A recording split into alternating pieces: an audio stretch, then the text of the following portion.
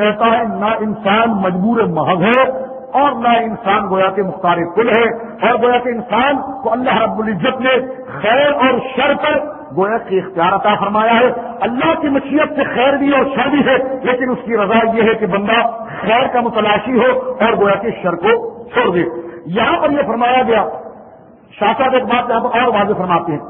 فرمایا یا کے نستعین سے، مراد، اگر کوئی شخص اللہ کے پیاروں سے مدد طلب کرے اگر کوئی شخص اولیاء الزام سے مدد طلب کرے، اگر کوئی شخص محبوبان خدا سے مدد طلب کرے، تو آپ فرماتے وہ مدد شرعن جائز ہے، اس لیے کہ مدد طلب کرنے والا اگر اس ولی کی ذات کو خدا کا بندہ، خدا کا محبوب اس کی بارگاہ میں ایسا سمجھتا ہو کہ یہ اللہ کا پیارا ہے، اگر یہ میرے لیے دعا کر دے گا تو اللہ رب العزت اپنی محبوبیت کے تعلق کی وجہ سے اس کی بات کو رائے نہیں کرے گا۔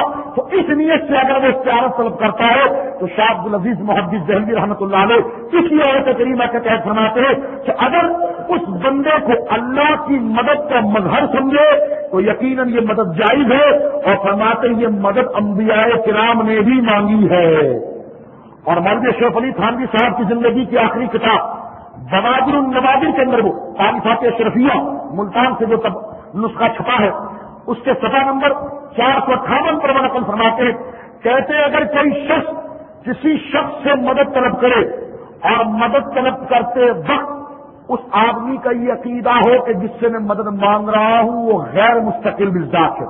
یعنی وہ مدد کرنے میں اللہ کا محتاج ہے وہ مدد کرنے میں ذاتی مالک نہیں ہے، تو فرمایا کہ اگر ایسی نیت سے کسی سے مدد مانگی جائے، تو یہ مدد شرن جائز ہے، چاہے وہ شخص زندہ ہو یا مردہ۔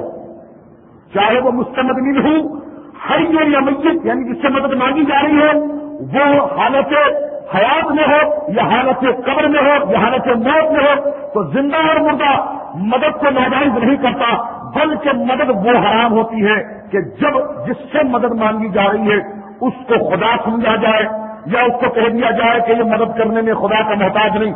یہ اپنی طرف سے مدد کر رہا ہے تو فرمایا کہ ایسی مدد شرک ہے اور یقیناً گویا کہ یہ مدد شرک ہے۔ تو مولوی اشرف علی پارٹی کو یہ سوچنا چاہیے کہ دیکھیے مولانا اشرف علی تھانوی صاحب نے بھی لکھا ہے کہ اگر کسی ولی سے مدد مانگی جائے اور یقین رکھا جائے کہ یہ خدا نہیں ہے بلکہ خدا کی عطا کردہ طاقت سے مدد کرتا ہے، تو یہ جائز ہے، چاہے وہ ولی قبر کے اندر ہو، چاہے وہ زندہ ہو۔ اور اسی کے آخر میں ولدالین کے ذریعے اللہ رب العزت نے مسلمانوں کو ایک اور راہ دی کہ تم مجھ سے دعا کرو کہ مولا، ہمیں ان لوگوں سے بچا۔ ہدایت کے راستے کے بعد ہمیں ان لوگوں سے بچا کہ جی جو لوگ تیرے غضب کا شکار ہو گئے، اور مولا کریم ہمیں ان لوگوں سے بچا۔ جو گمراہ ہو گئے۔ میں نے گزشتہ دفعہ بھی اس مسئلے کی وضاحت کی تھی۔ اب بھی اس مسئلے کی وضاحت سنا فرما لیجیے کہ بل اور غم میں فرق ہے۔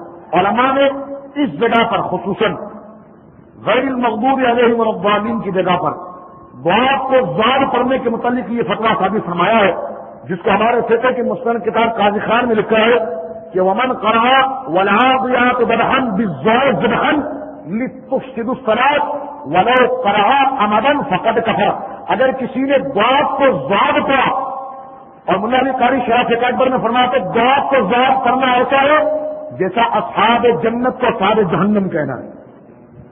فرمایا گواب کو اگر زاد پڑا تو فرمایا لطف سد السرا اس کی نماز حاصل ہو گئی۔ ولو کرا امدن اگر جان بوجھ کے گواب کو زاد پڑے گا، فقط کفر وہ کافر ہو جائے گا۔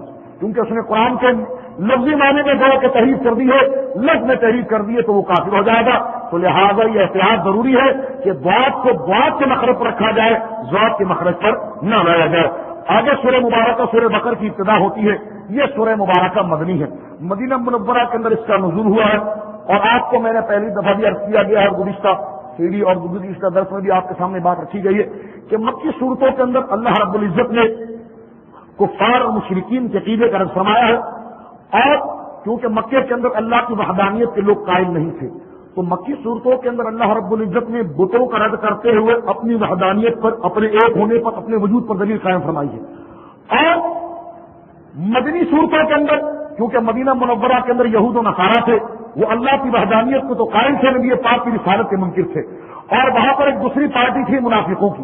تو گویا کہ مدنی صورتوں کے اندر زیادہ اکثر جگہ پر جو بیان ہے وہ یہود و نصارہ کے نظریے کا رد ہے، سرکار کی رسالت کو، مکے میں توحید کو ثابت کرنا ہے مدینے کے اندر سرکار کی رسالت پر دلائی ہے، سرکار کے علم پر دلائی ہے سرکار کے فضل پر دلائی ہے مکے کے اندر اللہ کے علم پر دلائی ہے اللہ کے مقام پر دلائی ہے اللہ کے اختیار پر دلائی ہے اور مدینے کے اندر سرکار علی سلاط اسلام کے فضائل پر دلائی ہے اور اسی طرح مدینے کے اندر، سرکار علی اسلام کے مقدس گروہ کے اندر یہودیوں کے جو ایجنٹ گھس چکے تھے، جن کو اسلام نے مناسب کے نام سے یاد کیا ہے، ان کا رب ہے۔ تو اب مدنی صورتیں جتنی ہوں گی، اس میں یہود نسارا اور گویا کے منافقین کا رد ہوگا۔ مکی صورتوں کے اندر بتوں کی مذمت، کافروں کے غلط عقیدے کا رد ہوگا اور اللہ رب العزت کی وحدانیت کو بیان کر دیا جائے گا۔ گویا کے سارے قرآن کا خلاصہ ہے۔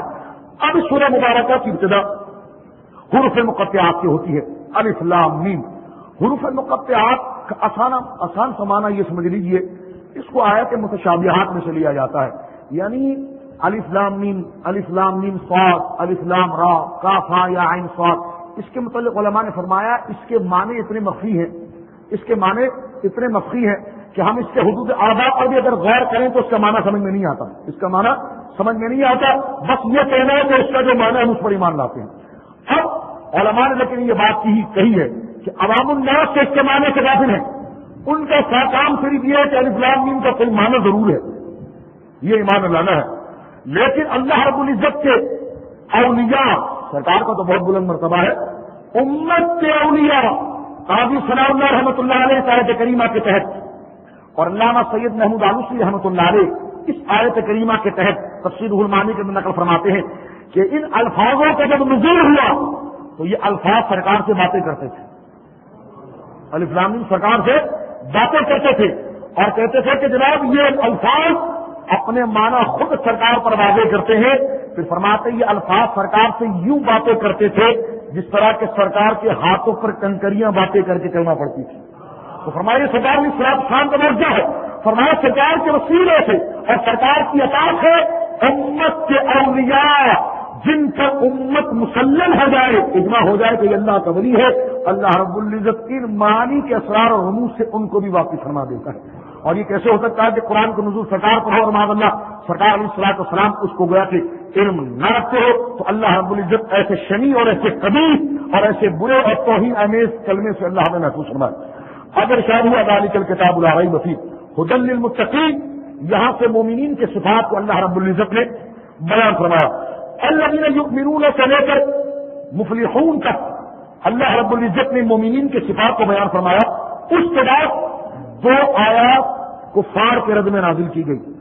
یعنی شروع کی آیتوں کے اندر الدین یؤمنون بالغیب، مومن وہ ہے جو غیر پر ایمان لاتے ہیں، نماز کو قائم کرتے ہیں، کتابوں پر ایمان لاتے ہیں، قیامت پر ایمان لاتے ہیں۔ وہ تو الائی کا اللہ حدم ربی وہ الائی کا حم المفلحون۔ یہاں تک مسلمانوں کے گویا کے فضائل کو بیان کیا گیا۔ آگے ان الدین کفرو سے لے کر آزاد عظیم تک۔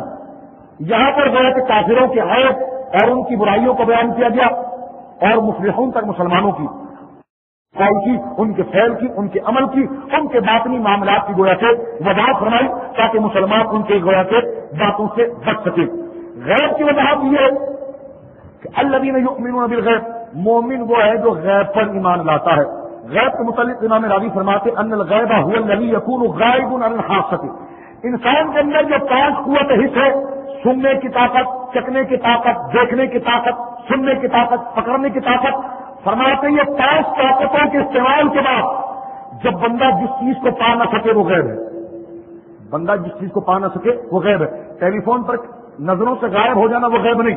کیونکہ آپ جس پر جس سے آپ ٹیلی فون پر گفتگو کرتے ہیں، وہ آپ کی نظروں سے تو غائب ہوتا ہے، لیکن وہ غائب نہیں ہوتا۔ اس لیے کہ آپ کی سماعت، اس کی آواز کا اس کے وجود کا ادراک کر رہی ہے۔ اب قدر کی جو بات ہے قدر کا معاملہ اس مثال پر گویا کہ آسان ہے۔ یہ غیر ہے، کیونکہ انسان اگر پانچوں طاقت سے قبر پر سرچ کر لے، مٹی پر سرچ کر لے، لیکن اندازہ نہیں لگا سکتا قبر کے اندر کیا ہے۔ اور سرکار نے سلاط السلام کی بے شمار حدیثیں جس میں سرکار نے آباد قبر کی باتیں بتائی ہیں۔ جو بخاری شریف کے اندر موجود ہے، سرکار قبر سے گزرے دو قبروں پر عذاب ہو رہا تھا۔ اس پر سرکار نے گویا کہ کھجور کی شاخیں، گویا کے گویا کہ پیوس کر دی۔ فرمایا ان دونوں قبروں کے اندر عذاب ہو رہا ہے۔ ایک غیر پھر فرمایا اس لیے ہو رہا ہے کہ ایک پیشاب کے کپڑوں سے نہیں بچتا تھا، دوسرا غیبت کرتا تھا۔ فرمایا تیسرا کہہ دیا کہ جب تک یہ شاخیں تر رہے گی، ان کے عذاب میں تکلیف ہوگی۔ تو یہ سرکار کی سراط اسلام کے معاملات تھے اب علماء نے فرمایا ہے غیر نبی طاق نے جو غیر بیان کیا، جو باتیں سرکار لے کر آئے ہیں، اس پر ایمان لانا، زبان سے اس کا اقرار کرنا، دل سے اس کی تصدیق کرنا، یہ کیا ہے؟ ایمان۔ اور یہ مومن کی سب سے پہلی صفت ہے کہ جو سرکار لے کر آئے، اس کی تصدیق کرنا۔ منافقین یہ ساری باتیں زبان سے کہتے تھے، جنت ہے، دوزخ ہے، سارے معاملات ہے لیکن دل اس کو تسلیم نہیں کرتا تھا اقرار دل لسان تو تھا، تصدیق دل قلب نہیں تھا۔ جب تک ایمانی دعوے زبان پر رہے، دل کی دنیا اس سے آباد نہ ہو، بندہ مومن نہیں ہو سکتا۔ مسلم کا لفظ تو اس پر اطلاق کیا جا سکتا ہے، لیکن مومن کا لفظ کا اطلاق اس پر نہیں ہو سکتا۔ منافقین کے زبان پر یہ سارے چربے تھے، دل کی دنیا ان کی سرکار کی قید اور سرکار کے فضائل کی باتوں کے سننے سے اجڑی ہوئی تھی۔ اس لیے قرآن نے کہہ دیا وہ من اللہ سے میں یہ امن ہے وہ اللہ کو ماننے کے باوجود کافر ہو چکے ہیں، وہ قیامت کو ماننے کے باوجود کافر ہو چکے ہیں۔